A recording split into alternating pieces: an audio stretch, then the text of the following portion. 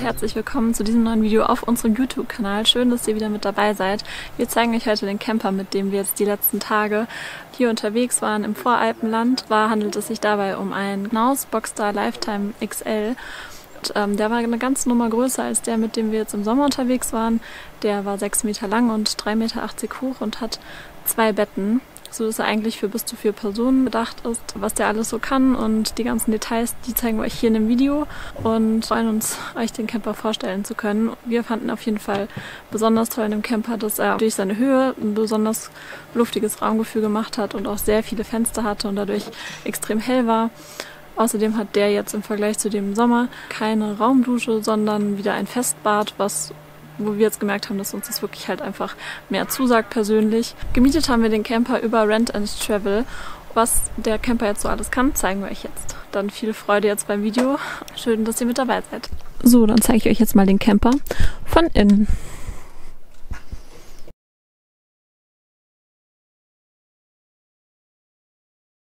Hier seht ihr den Küchenbereich des Campers. Er hat wieder einen äh, zwei Platten Gasherd und äh, hier ist wieder ein tiefes Waschbecken.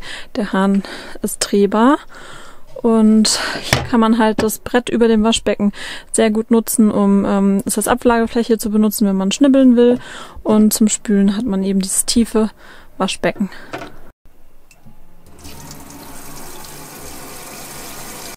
Und auch hier in der Küche gibt es wie beim letzten Camper wieder so ein kleines Tischchen, um die Arbeitsplatte so ein bisschen zu erweitern. Und auch die Küche hat sehr viel Stauraum. Es gibt hier ähm, diverse Schubladen. Einmal einen Besteckkasten, dann eine Schublade, wo wir unsere Lebensmittel drin haben und eine weitere, wo wir Töpfe und Geschirr drin haben. Dann gibt's hier so ein schmales Fach, wo man auch Kleider aufhängen kann. Die Stufe, die man benutzen kann, um aufs Bett zu kommen, ist ebenfalls einfach. Und dann hat es hier auch nochmal eine Schublade seitlich. Ein weiteres Fach, da haben wir jetzt gerade unsere dreckige Wäsche in einem Wäschesack drin. Und selbst hier hinten, ganz schön versteckt, ist dann sogar noch ein weiteres großes Fach. Also wie ihr sehen könnt, ganz schön viele Fächer und genug äh, Stauraum dadurch. Dann gibt es hier natürlich auch einen Kühlschrank. Da passt auch so einiges rein mit Eisfach und einem Panel, um die Kälte einzustellen, die gewünschte. Wir haben es jetzt immer auf zwei Grad, äh, auf zwei ähm, gestellt und das passt für uns so ganz gut. Wichtig zu erwähnen, zum Kochen ähm, braucht man sich hier beim Wasser keine Sorgen machen, denn der Camper ist ausgestattet mit so einem modernen ähm, Wasserfilter, der das Wasser ähm, so aufbereitet, dass man ähm, keine Sorgen haben braucht, dass man sich davon irgendwelche Bakterien einfängt. Also ist auf jeden Fall auch ähm, sehr, sehr gut.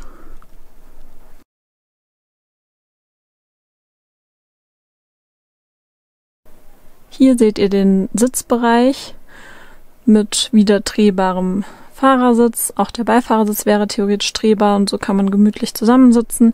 Der Tisch hier ist ein bisschen schmaler als der von dem Camper im Sommer. Aber es gibt auch hier wieder die Möglichkeit, über diesen Stöpsel dann die Tischplatte zu erweitern und aufzudrehen. Und so kann man auf jeden Fall noch mal einiges mehr an Platz schaffen.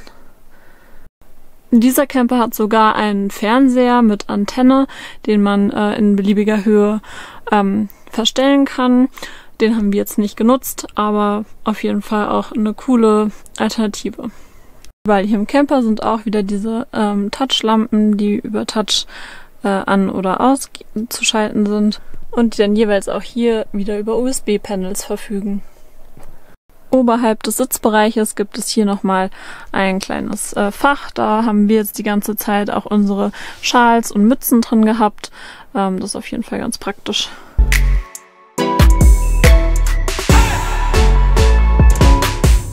Man sieht hier halt sehr schön, dass aufgrund dieser extremen Raumhöhe und der vielen Fenster der Camper wirklich extrem hell ist, was uns super gut gefallen hat. Und jetzt, wenn man im Herbst unterwegs ist und auch mal Regentage hat, ähm, ist es halt gleich viel angenehmer, wenn viel Licht in den Camper reinfällt.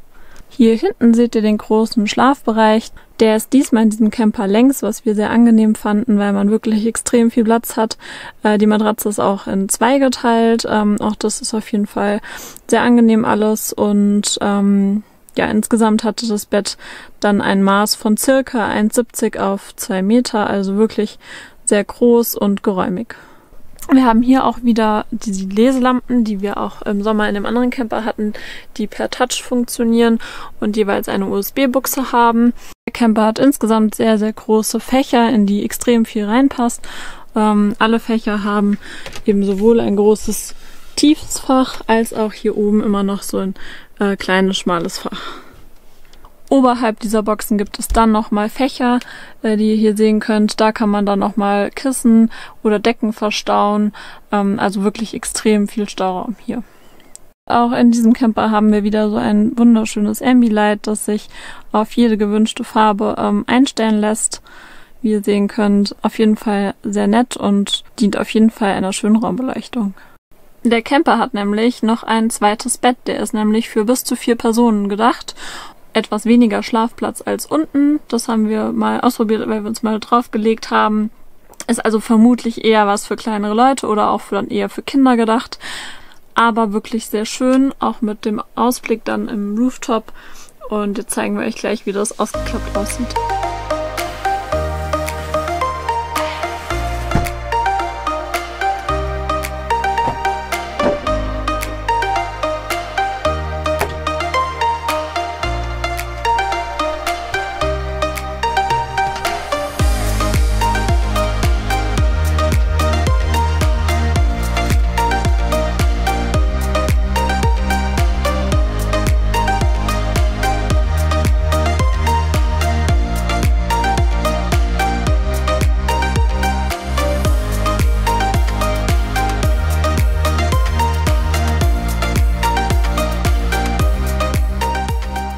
Und auch für das Bett hier oben gibt es dann nochmal neben dem Fernseher eben hier diesen ähm, Stromsteckeranschluss.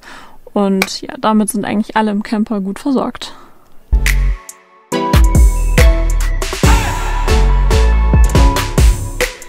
Ja, und dieser Camper hat jetzt nun kein Raumbad wie der im Sommer, sondern der hat jetzt wieder ein Festbad, was wir persönlich gemerkt haben, was wir auch bevorzugen. Ähm, das zeige ich euch gerade mal kurz. Und zwar gibt es hier eine klassische Toilette, ähm, die Duschwanne unten. Es hat viele Spiegel und einiges an Stauraum. Hier gibt es eben den klassischen Wasserhahn, der eben rausnehmbar ist und als Dusche, als Duschkopf verwendbar ist. Und dann gibt es die Möglichkeit, dass man den Spiegel ähm, rüberschieben kann, um eben direkt davor zu stehen wenn man das möchte. Und dann gibt es hier auch noch weiteren Stauraum. Hier kann man einmal ähm, seine Badutensilien verstauen. Hier in diesem zweiten Becken, da kann man schön seinen Kulturbeutel reinlegen. Und dann gibt es auch hier nochmal zwei große Fächer. Schön ist halt hier, dass ähm, extra solche Gummis angebracht wurden, dass es während der Fahrt auch gut hält und nichts rausfällt und man wirklich enorm viel Stauraum in diesem kleinen Bad hat, was uns ja letztes Mal bei, dem, bei der Raumdusche so ein bisschen gefehlt hat. Den Duschkopf würde man hier oben einhängen, den Vorhang zieht man dann äh, einmal um sich herum und hier oben ist dann auch nochmal so ein praktisches Handtuchhalter-Modul, ähm, das man wegklappen kann.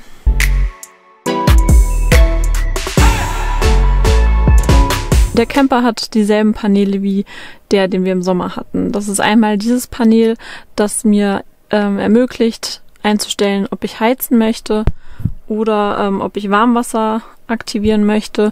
Hier kann ich ähm, beim Warmwasser zum Beispiel äh, entscheiden, ob ich Eco möchte, Hot oder Boost. Für uns reicht es eigentlich immer, wenn wir auf Eco äh, das Warmwasser einstellen zum Duschen. Und hier bei der Heizung kann ich die Gradzahl einstellen und dann geht es an die äh, Gasreserve. Das untere Panel zeigt an, ähm, wie die, der Batteriestand ist im Inneren des Campers, wie der Batteriestand ist vorne der Autobatterie und ähm, wie viel Frischwasser man zur Verfügung hat. Und wenn der, der Grauwassertank voll ist, dann würde dieses Symbol hier oben blinken. Außerdem kann ich hier eben die Wasserpumpe aktivieren und das Außenlicht, wenn man draußen im dunklen Abend sitzen möchte, dann bedient man das hierüber. Da es hier sehr viel Beleuchtung im Camper gibt, ähm, ist es sehr praktisch. Alle Lichtschalter sind jeweils markiert, welches Licht damit ähm, zu bedienen ist. Und hier oben hat der Camper dann auch nochmal, auch an anderen Stellen im Fahrbereich, ähm, eine Buchse für einen Zigarettenanzünder, ähm, wo man eine Mehrversteckdose noch anbringen kann. Aber auch wenn man an Landstrom steht, ähm, eine normale Steckdose. Und über diesen Schalter kann man die äh, Treppe ausfahren, wenn man das möchte. Aber der Camper fährt die Treppe auch automatisch wieder ein, sobald man ihn startet.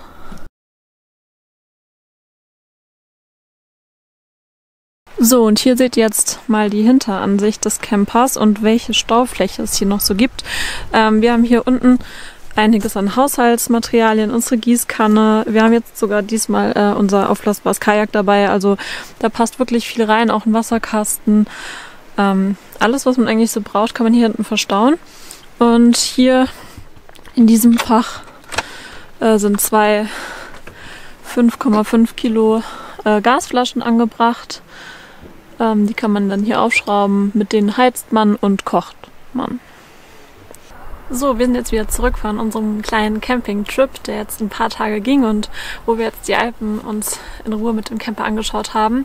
Und zwar das erste Mal, dass wir einen Camper für eine Woche gemietet haben ähm, und so einen kleinen Kurztrip damit gemacht haben. Und es hat auf alle Fälle für uns gezeigt, dass es auch gut möglich ist, nur eine Woche mit dem Camper unterwegs zu sein und sich auch der Aufwand letztlich dann lohnt mit Bepacken und alles einräumen und verstauen und dann später wieder alles putzen.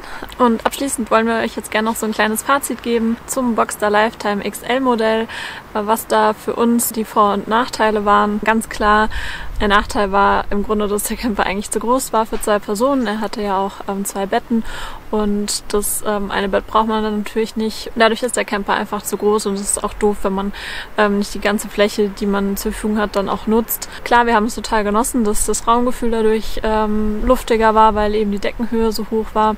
Aber wenn man ehrlich ist, braucht man halt eben eigentlich einfach dieses zweite Bett nicht.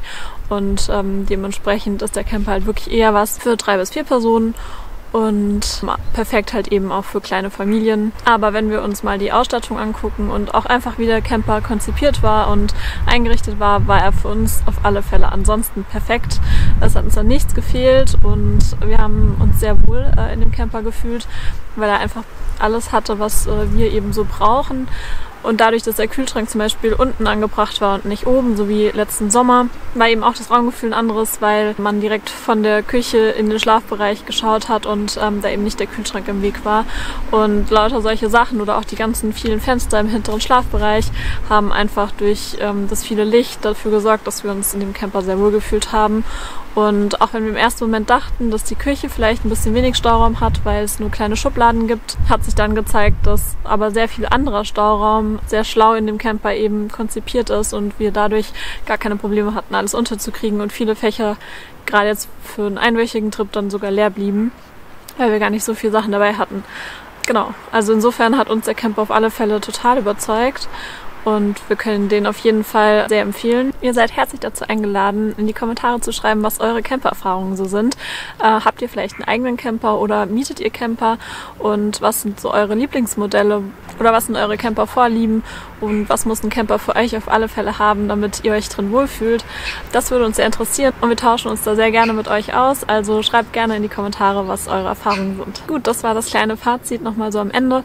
Und ähm, dann sage ich Tschüss und freue mich, wenn ihr beim nächsten Video wieder mit dabei seid.